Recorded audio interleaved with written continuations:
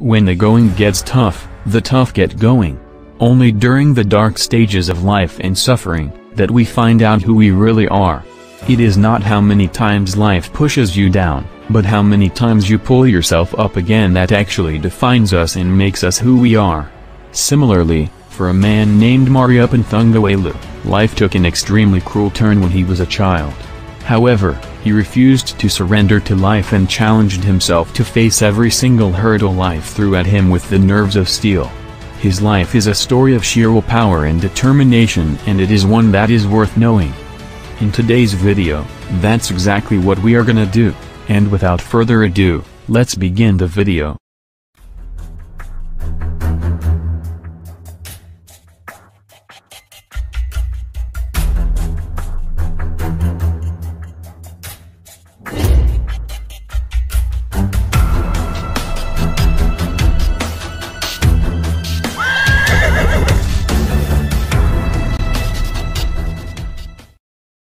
Our journey begins on 28 June 1995 in a remote and off-the-map village named Periyavadagumpudi in the district of Salem in Tamil Nadu where Thangavelu and Saroja gave birth to a beautiful boy whom they named Mariappan. But he was not alone. He had four brothers and a sister.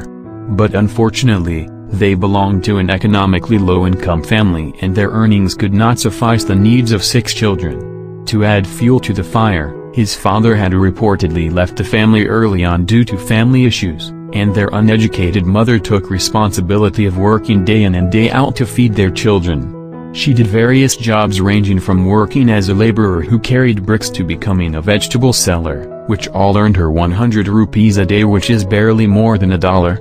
Imagine having to feed six children and herself with just one dollar a day. This isn't something ordinary. Mariappan grew up watching his mother toil from dawn to dusk and some of her qualities got instilled in him as well. He joined a government school and dreamed of becoming a successful man someday.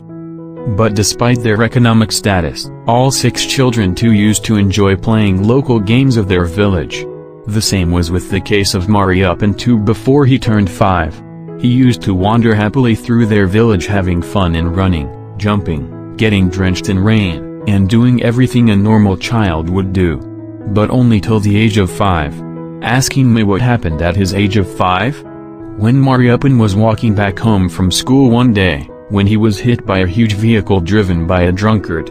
The driver was so drunk that he failed to notice Mariappan walking ahead of him by the side of the road. He lost control, and the unimaginable happened. The vehicle went over Mariappan's tender legs and crushed them below his knees. The scene was covered in blood, tears and nervousness. As a five-year-old kid cried out in pain, he saw his dreams shatter. It was the darkest hour of his life and Mariappan knew that it would change his life forever for the worse. Mariappan was immediately taken to the nearest hospital, where the doctors informed that his condition was quite critical. Mariappan's life was on its tenterhooks. One drunk man's carelessness had destroyed an innocent life in the blink of an eye.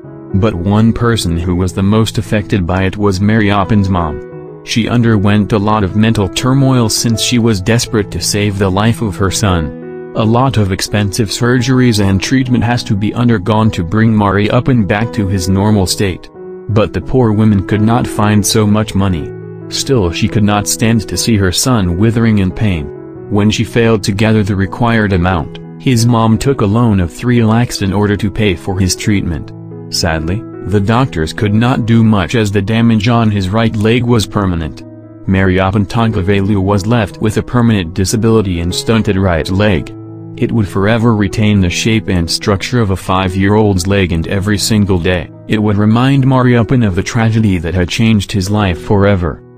The dreams and aspirations of the young boy were shattered and he had also plunged his family into further crisis due to the loan that they had to pay off now.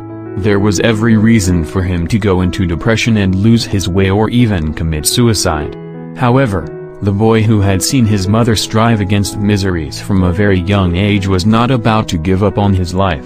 He was determined to face his adversities head-on and his battle had just started. So, Mariappan did not let his disability bring him down or isolated. He did not feel any different from the other able-bodied students in this school and never felt pity on himself. Despite the fact that he had been overlaid with tragedies, he still had a very positive outlook towards life. He also worked extremely hard at his school to earn good grades and completed his senior secondary education. But apart from studies, his school provided him a platform to discover his love and passion for a sport named volleyball. Though Mariappan craved to play the game, his legs provided him a barrier to the game as he was not able to match up to the physical aspect of the game. Or rather, he was not able to match up with his mates. Still that did not bring down his interest in the game as he used to be a spectator and watch his friends play from the sidelines encouraging and cheering for his friends and lived the sport as a fan. After the matches, he would try his hand on the game during practice, but had a problem balancing himself and positioning himself. However, he had a splendid jump while smashing the ball. This jump of his was noticed by his school sports teacher, who asked Mariappan to try his hand in a new sport named high jump. But never did he know then that he had changed Mariappan's life altogether. Mariappan had found his flair in high jumps as he was able to perform brilliantly in the sport. He was so great in the sport that he was able to defeat even able-bodied athletes in practice. It was clear that the young boy had a great future in the sport and hence prepared to take part in the National Para-Athletics Championship to find a platform to showcase his skills.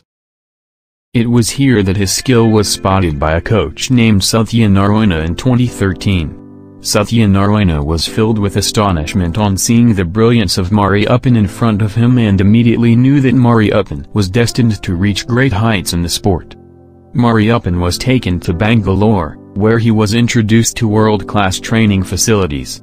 As told by his coach Satyanarayana, Mariappan was a confident and disciplined kid. This trait was imprinted into him by the virtue of watching his mom's dedication at times of adversities. This had instilled a hunger for success within him and he strived hard to achieve his goals. With the right people to guide him in his endeavors, Mariappan Thangavelu went from strength to strength and became an expert in the high jump in no time. He had a determination made of steel and there was no stopping him now. With just one and a half years of practice, the young boy lit up the national as well as the international circuit and became the world number one in 2015. It was a fantastic achievement for the youngster, but there was more to come from him soon. And it did in the very next year in the biggest stage of sporting. It was the 2016 Rio Olympics and Paralympics. Mariappan participated in the 15th edition of Summer Paralympic Games which was also the second most attended Paralympic Games in history. For Mariappan Thangavelu, it was a big step from a small village in Tamil Nadu to just attend the grand stage of the Paralympics. His journey to the prestigious event began in March 2016 where he qualified for the Paralympics by clearing a height of 1.78 meters in the Olympic qualifiers held at IPC Grand Prix in Tunisia and hence became a part of the Indian contingent that flew to Brazil to take part in the tournament. Days passed swiftly and the date was September 16, the date that would declare the winners of the 2016 Paralympic high jump event. Mariappan had trained all his life for that moment. He was focused and set his eyes for the big prize. Mariappan has cleared a distance of 1.89 meters and clinched a historic gold medal for India. On this event at the moment, nothing else going on in the stadium except this high jump. It's over! Thangavelu at 189 jumps into gold medal position.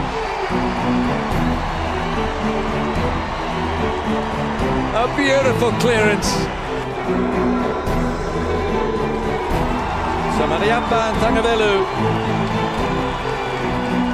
gives a modest wave to the crowd that's still here at the engine hour. He's from Bangalore, he's 21, and he's a Paralympic champion. This was a huge achievement, as he was only the third Indian to win a gold in the prestigious event. His great win brought him a lot of attention in the national as well as at the international level. He had become a big star overnight and a lot of people, including the Prime Minister of India took to the social media to congratulate him. India had won a Paralympics gold medal after 14 years and it was a time to celebrate. He was given a hero's welcome when he reached his hometown in Tamil Nadu.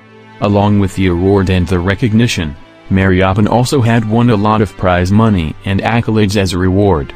But instead of spending it on worldly pleasures, he decided to use the amount on something worthful.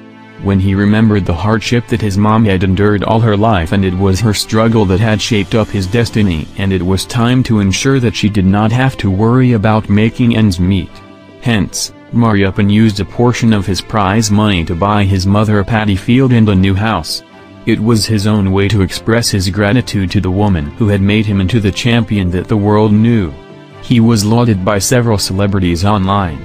He also received the highest sporting honor of India, Rajiv Gandhi Ratna in 2020, the fourth highest Indian national honor namely the Padma Shri in 2017 and the second highest Indian sporting honor namely the Arjuna Award in the same year, as a recognition for his excellent service to sports in the country.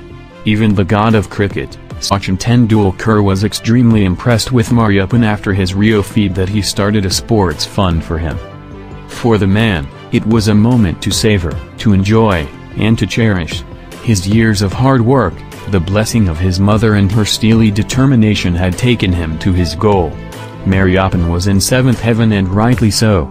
From the crushing accident as a five-year-old to the memorable day in Rio, his life had been nothing short of a fairy tale. This motivational life story is planned to come soon on the silver screen as it is going to be made into a biographical sports drama movie named Mariappan. The movie is currently under production. It is being directed by Aishwarya Dhanush and Dhanush is expected to play Mariappan's role. Mariappan himself is very excited about the project and has openly spoken about the inspirational effect of films in the lives of budding sportsmen.